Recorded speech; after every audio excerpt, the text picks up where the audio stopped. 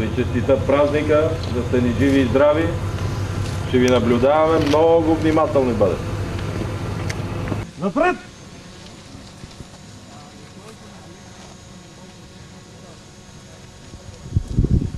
Също изключително важно. Заредени оръжия.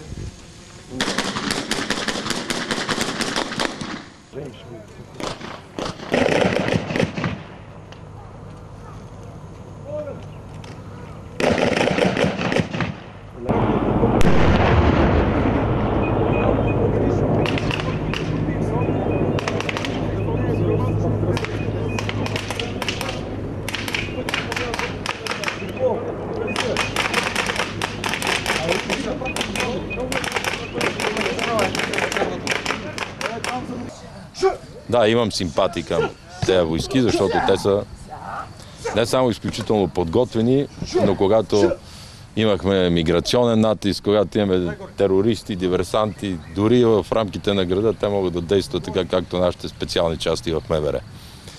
Изключително подготвени, пълна координация са с колегите от баретите, така известни и с МВР, правят съвместни учения, както и с всички натовски служби и армии и мисля, че е, мнението за тях е, е изключително добро.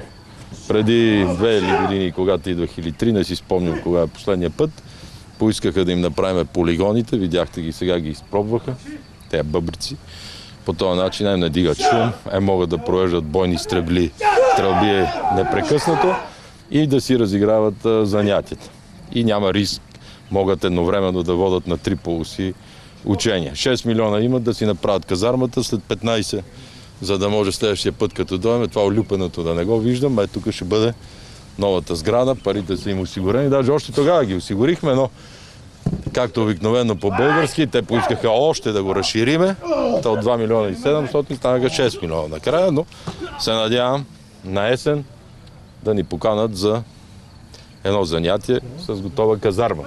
Столови, фитнеси, много е хубава и не само тези, които работят и тренират тук, но и съвместните учения, които правиме с останалите натовски части, да можем като домакини да ги поканим нещо добро.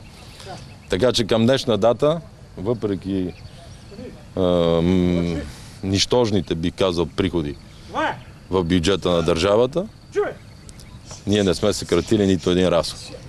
Нито един разход не сме съкратили. Включително и за проектите на военните. Така че още веднъж да са ни живи и здрави всички храбри българи.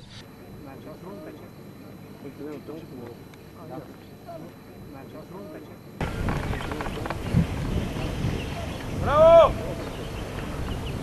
Млади сънародници, очакваме ви в специалните сили! Честит празник!